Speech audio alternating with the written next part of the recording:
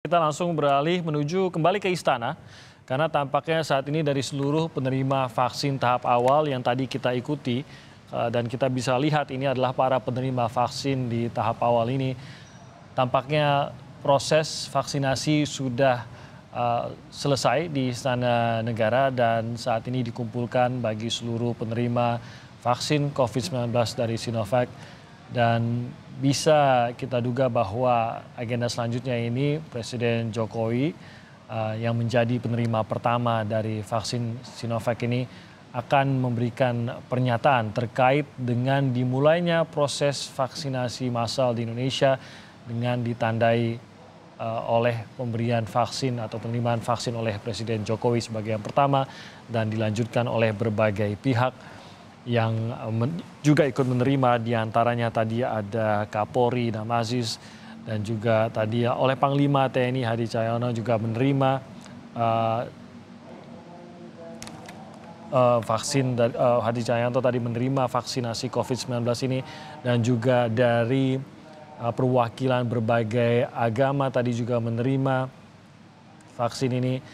Uh, perwakilan dari pengusaha dari uh, buruh juga dari perawat, dari ID tadi juga. Dan ini menjadi gambaran dari pihak-pihak ya, di seluruh Indonesia ini, sekalian sebagai simbol dari yang menerima vaksin. Kita akan lihat ya, dan ikuti uh, kondisi itu. atau kegiatan ya. di istana berikut ini. Hmm? Ya. Tunjukkan yang tadi disuntik, yang lengan kirinya, sebagai kebal imunitas. Ya. Hmm?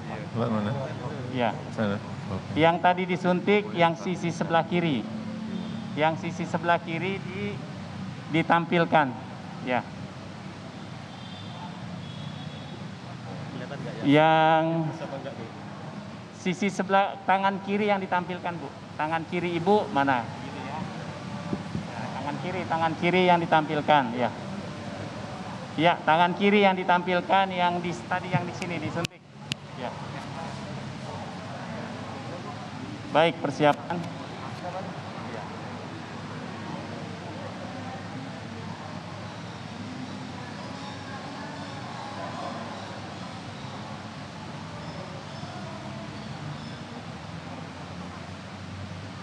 Baik, Bapak dan Ibu sekalian, persiapan untuk konferensi pers terlebih dahulu.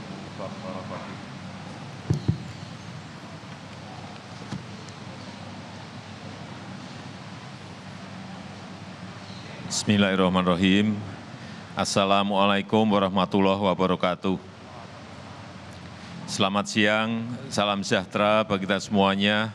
Om Swastiastu, Namo Buddhaya, salam kebajikan.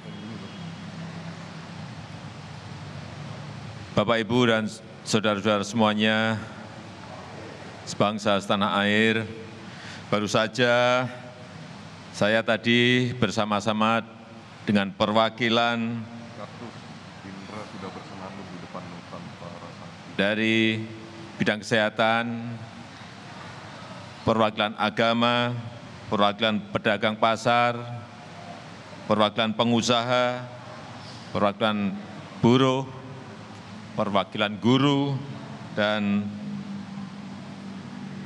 dari perwakilan tenaga kesehatan telah melakukan vaksinasi. Dari kesehatan, terima kasih telah uh, bersama-sama dengan saya tadi divaksin, Bapak Ketua ID, Ikatan Dokter Indonesia, Bapak Daeng M. Fakih, dan juga dari perwakilan agama, saya ingin mengucapkan terima kasih kepada Bapak Kiai Isamuddin, kemudian dari Sekjen MUI, Majelis Ulama Indonesia, Bapak eh, Dr. Amesyah Tabunan, beliau juga adalah tokoh dari Muhammadiyah, dan tadi Bapak Kiai Muhammad Isamuddin adalah dari Nahdlatul Ulama, Kemudian juga dari perwakilan guru hadir langsung Ketua PGRI, Profesor Unifah Rosidi, kemudian dari Ketua PPNI, perawat, Bapak Arif F, dan juga Sekjen Ikatan Bidan, Bu Ade Jubaidah, serta dari perwakilan buruh, bersama kami tadi juga divaksin Ibu Agustini Stiorini, dan juga perwakilan dari PGI, dari KWI, dari PHDI, dari Permabuti, dari Matakin. Juga ada Ibu Narti, pedagang sayur dari Pasar Impres Gading di Jakarta Utara, hadir juga. Serta, saya tadi lupa, ada perawat Ibu Nur Fauzah dari Dinkes DKI, dan yang lain-lainnya. Setelah kita melakukan vaksinasi perdana ini, nanti akan terus dilanjutkan vaksinasi di seluruh provinsi, kabupaten, dan kota di seluruh tanah air. Vaksinasi perdana ini dilakukan setelah kita mendapatkan izin penggunaan darurat, emergency use, authorization dari BPOM, dan juga telah keluarnya fatwa halal dari Majelis Ulama Indonesia. Kami mengucapkan terima kasih yang sebesar-besarnya. Vaksinasi COVID-19 ini penting kita lakukan untuk memutus rantai penularan virus corona ini dan memberikan perlindungan kesehatan kepada kita dan keselamatan, keamanan bagi kita semuanya masyarakat Indonesia dan membantu percepatan proses pemulihan ekonomi. Terakhir, meskipun telah dilaksanakan vaksinasi, saya ingin mengingatkan kembali tentang pentingnya disiplin terhadap protokol kesehatan. Ini tetap terus kita lakukan. Memakai masker, mencuci tangan, menjaga jarak, dan menghindari kerumunan. Saya rasa itu yang bisa saya sampaikan pada kesempatan yang baik ini. Sekali lagi, saya juga ingin mengucapkan terima kasih yang sebesar-besarnya kepada Profesor Dr.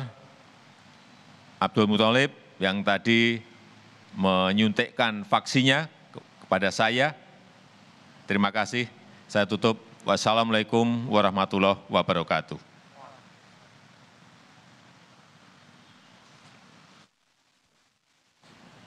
Demikian tadi disampaikan Presiden Joko Widodo terkait dengan proses vaksinasi awal yang dilakukan Uh, tadi Presiden Joko Widodo menjadi penerima vaksin pertama dan dilanjutkan dengan sejumlah pihak yang tadi sudah dibacakan oleh Presiden Jokowi, termasuk perwakilan dari berbagai profesi dari sisi perawat, bidan, uh, buruh, pedagang, dan lain-lain, termasuk juga di antaranya dari perwakilan berbagai agama juga tadi sudah menerima vaksinasi. Ini menggambarkan bahwa vaksinasi yang dipersiapkan secara gratis oleh pemerintah ini untuk melawan pandemi COVID-19 di Indonesia dipersiapkan bagi seluruh warga negara Indonesia yang memenuhi syarat. Tentu saja ada sejumlah persyaratan kesehatan utamanya yang menjadi uh, penentu apakah warga tersebut, warga negara tersebut bisa atau tidak bisa menerima vaksin, bisa atau tidak bisanya juga mempertimbangkan untuk kebaikan dari warga negara tersebut juga. Ada beberapa syarat kondisi kesehatan yang harus dipenuhi sebelum seseorang bisa memenuhi atau bisa menerima vaksin tersebut. Dan apa yang disampaikan oleh Presiden Jokowi tadi ini menjadi penanda dimulainya vaksinasi massal yang akan dilakukan di seluruh Indonesia, di seluruh provinsi, kabupaten, kota di Indonesia. Ini menandai bahwa vaksinasi massal ini sudah dimulai sesegera mungkin dengan sejumlah target yang tadi juga sudah digambarkan oleh Presiden Jokowi uh, dijadikan target oleh pemerintah. Presiden Jokowi mengatakan 182 juta warga negara Indonesia ditargetkan akan menerima vaksin ini untuk uh, seluruh tahapan hingga selesai dan 5,8 juta diharapkan sudah bisa divaksin pada bulan Januari saja. Untuk memenuhi 5,8 juta, kita tahu bahwa vaksin atau jumlah vaksin Sinovac yang sudah berada di Indonesia, sudah diterima oleh Indonesia ini uh, berjumlah 3 juta ditambah dengan 15 juta bahan dasar vaksin yang baru saja tiba kemarin. Sehingga ada sudah memadai sebenarnya jumlah vaksin untuk memenuhi target Januari.